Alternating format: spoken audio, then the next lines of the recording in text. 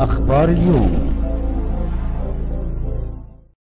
حضرتك بتقول أربع أجهزة تم تغييرهم على مدار الموسم الماضي لكن كان في حاجة واحدة بس هي اللي ثابتة في الأربع أجهزة ويمكن دي ناس كتيرة قوي أرجعت ليها فوز نادي الزمالك واستقرار نادي الزمالك الفنيا اللي هو أقصد أنا وجود الكابتن إسماعيل يوسف آه، كرئيس جهاز للكرة ومعاه الجهاز الإداري بتاعه بالكامل يمكن هم الوحيدين اللي كانوا مستمرين والأجهزة بتتغير.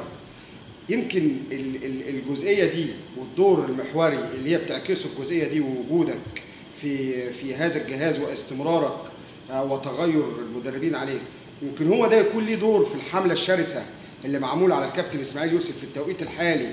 ضمن حملات تانية أنا هسأل حضرتك فيها دلوقتي وتبررها لي برضه. هو هو يعني إيه؟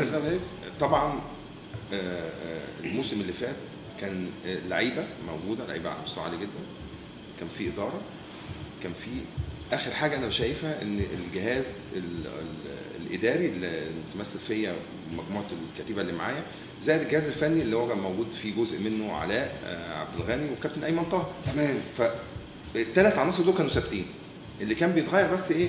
الهيد كوتشات. أو المديرين الفنيين فدي سهلت الأمور بالنسبة ل وحافظت على وحافظت. على الكيان واستقرار دي حقيقة يعني زائد إن طبعا المستشار المرتضى كان داعم لل- للمجموعة دي فقدر إن هو يخرج بالموسم لبره الامان الجزء الثاني اللي, اللي أنت الحمله طبعا لا هي مش عليا أنا شخصيا بس يعني على ناس الزمالك لأن آه ما حضرتك بقى جزء يعني آه، جزء جزء. جزء يراد به الكل آه، آه، هو الكيان. مؤمن بحاجة يا أستاذ ياسر مؤمن بحاجة إن آه، طالما أنت بتشتغل لازم يبقى فيه آه، حقوق. ولما بتشتغل في نادي كبير لازم هتبقى فيه برضو آه، حقوق ومنافسات بتشتغل في نادي كبير حصل على بطولتين كبار لازم تبقى قد المسؤولية في العمل.